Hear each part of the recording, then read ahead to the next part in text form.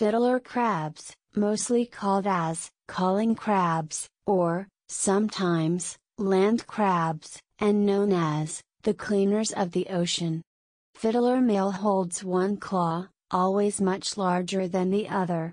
While both claws in the female are relatively small,